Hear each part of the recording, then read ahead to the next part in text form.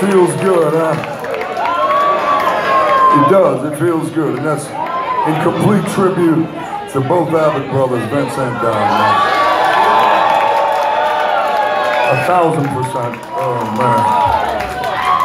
So, enjoy this while you can because, I mean, we are the illegals. You know, the illegals play an ugly style of heavy metal. And I gotta say, the fact that I, got these motherfuckers to learn Pantera songs is pretty amazing, man. Give them a round of applause, please.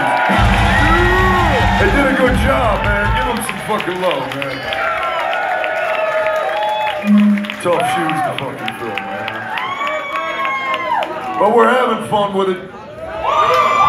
And as long as it's in tribute, man. Are y'all feeling good, man? Uh, Feels good to be able to play this. Sean mic. What happened, man?